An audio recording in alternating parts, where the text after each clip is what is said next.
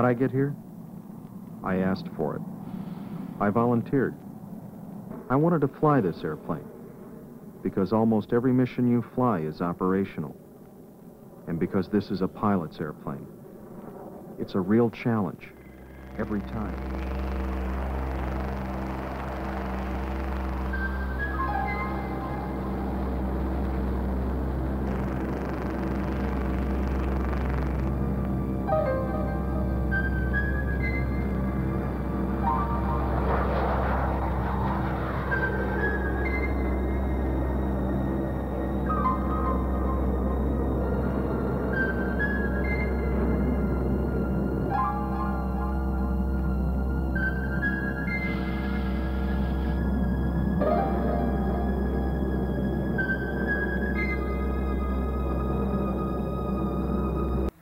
Your mission? A high priority sortie to collect vital information. It's all planned for you the day before you fly. Squadron operations, two and a half hours before takeoff. You and your backup ready to go to work. Hello, Tim. Hey, morning. How are you? How are you doing today? Okay. A last minute intelligence briefing. And that concludes the items you'll be prohibited from carrying. Can I answer any questions about these? Oh, anything to you? A final check on the weather. In the forecasted thunderstorms will end in the first uh, third of Utah. About 344 heading for a little over 13 minutes. You're flying the mission. You check all the flight plans made the day before, in route charts, the green card, and map boards. Two hours before takeoff, you eat a standard high-protein, low-residue meal needed for the demands of the long mission at high altitude. The backup pilot pre-flights the plane. Tomorrow, somebody will be doing the same for him. 48 hours later, you'll be the backup. Day after that, you'll fly again. That's the cycle.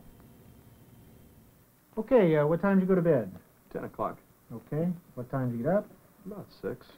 Okay. It's serious Feeling business. pretty good this morning? No problem? You'll be up there alone at 70,000 feet for an appreciable length of time.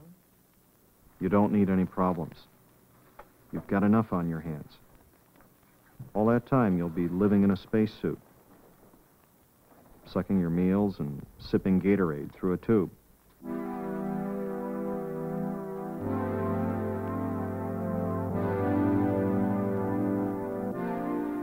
An hour and 15 minutes before takeoff.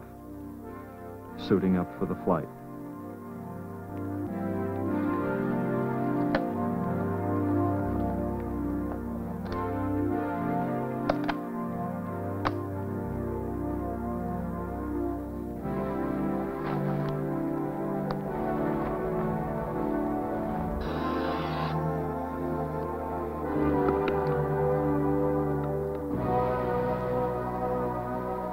Nine hours at altitude. You could get the bends. That's why, an hour before takeoff, you go on oxygen. Everything okay then, sir? Yeah, thanks, Woody. It's okay. You're all set. Okay. It's a close-knit group. We have to be. We depend on one another for our lives.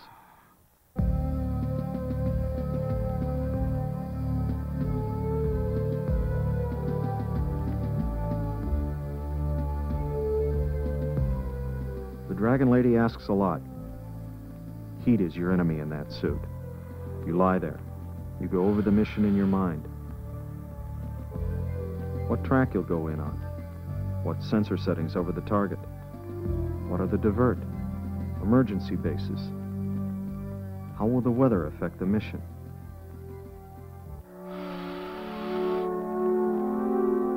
Then, it's time to get integrated with the airplane.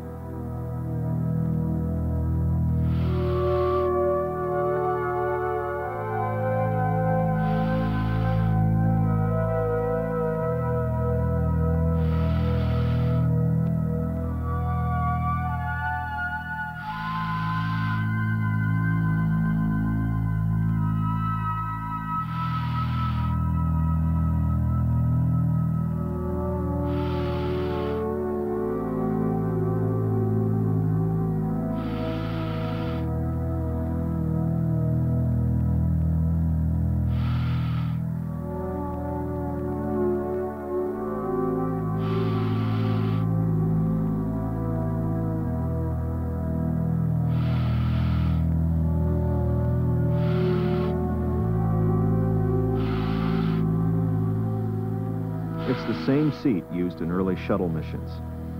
The cockpit's small. It's a snug fit. You need help.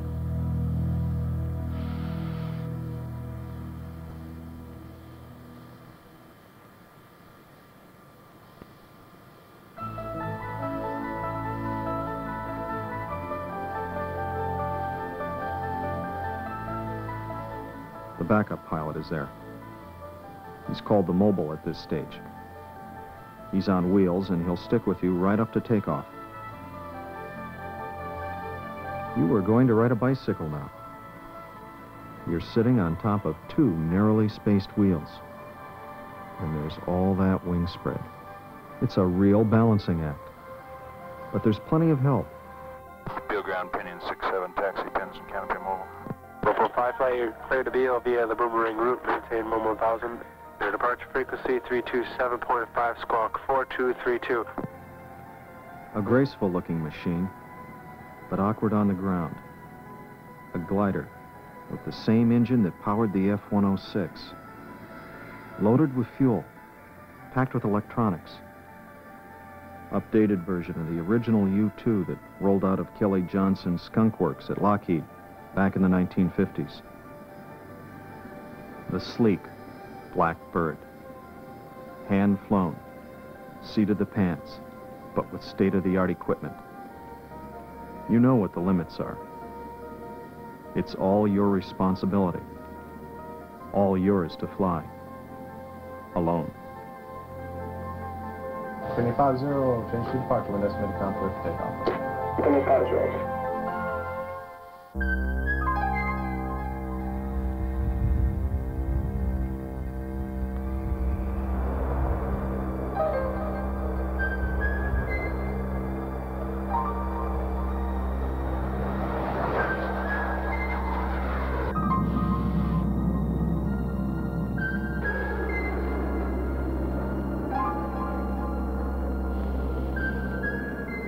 So there you are.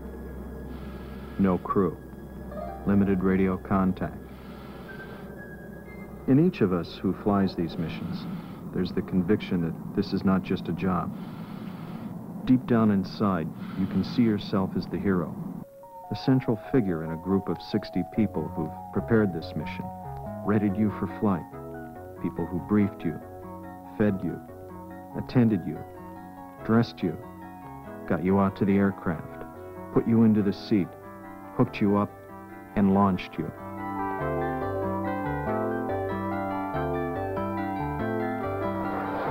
We say launch, not takeoff, because so many people and procedures are involved in the launch and the recovery of just one pilot in a single aircraft.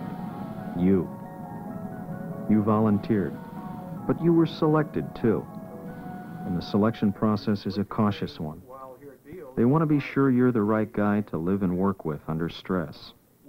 Steady, reliable, friendly. TDY. Okay, sir, just how many uh, TDYs are the crews pulling now? The crews are pulling about 140 days a, a year TDY. Let's say a young but experienced captain, a totally professional and dedicated Air Force officer who can handle problems on his own, accept a challenge, a man in good physical shape who can fly a plane that demands precision and is tough to land. The selection process is a serious business. Your records are reviewed. Then you're interviewed at Beale. And you also fly the U-2 trainer. U-2 and TR-1 pilots make up a small and elite group. Fewer than 300 of us since the program began back in the 1950s. So you made it. You're up there on a typical mission at 70,000 feet, collecting invaluable strategic and tactical intelligence data for national defense. You work with the normal risks of flight in this aircraft, but there are people where you fly who wish the worst for you. Your challenge is to accept all the risks and fly the mission successfully. You've got to be good at your trade. Approaching the target area, you know precisely what to do. It's all been worked out for you. What track to go in on, what sensor settings to use. but it's yours to do. It's a great airplane, a stable reconnaissance platform with a long loiter time, and a lot of history, an impressive record of performance. You know only what you have to know about each mission, but you know who has tasked your mission. And they know you by name. That goes with the territory. A ranking Allied military commander has said, if all the U-2 TR-1 aircraft could be airborne three hours before a war, we'd have all the information essential to the conduct of that war. We fly other missions, surveying the damage caused by natural disasters, hurricanes, floods, earthquakes, forest fires. We sometimes fly search and rescue missions. There are two units flying the U-2 and TR-1. Both aircraft are virtually the same. However, they fly different missions. TR-1 pilots in the 95th Recon Squadron fly out of RAF Alconbury, England. It's a three-year overseas tour. Their missions support the tactical commanders in Europe collecting battlefield information for NATO planning and defense. TR-1 pilots do not pull TDY. The U-2s support the folks in Washington by collecting strategic intelligence. To do that, U-2 pilots go TDY about 130 days a year. You come in tired, and you're recovered the same way you were launched, with a lot of help.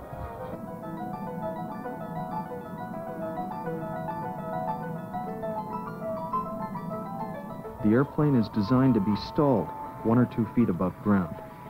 It's very critical that it be stalled no higher than that. Your backup, the mobile controller, gives you your altitude calls in feet and inches above the runway. Okay, there's 10 at the T, down to 8, 6, 5 feet, 4, 3 feet, tail still up at 3 feet. There's 2, 1 and a half, 1 foot, holding it 1 foot, down to 6 inches, nice. Pump system, we got a couple of vehicles on the runway, uh, south to north, southway Benson. Finally, you're safely on the ground. Mission successfully completed. Your backup is there to meet you. He takes the checklist and the green card. Your written log of everything you were supposed to do on this mission. It all goes back to the people in NAV planning. Hey, welcome back. All right. Heck of a fine job. Yeah. Have a good one? Okay. Yeah. Super. Here you go. Hey, man, your checklist Gonna and take this. get some of the stuff out of your way here. Okay, see you on the ground. All right. Tired. Hot and sweaty in your pressure suit. But you feel pretty good. There's a lot of job satisfaction in this line of work. Tomorrow you're off. But there's one more post-mission procedure you don't want to miss.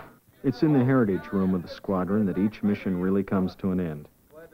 This is where you begin to unwind and listen and learn from older and wiser heads. How things go today? What's wrong with that autopilot thing? You have to ask him, I don't know. Well, we had some problems with yesterday. It was, uh, we're getting a little pitch divergence. Oh, geez, that temperature thing. And right now, it's somebody else's turn to fly the Dragon Lady.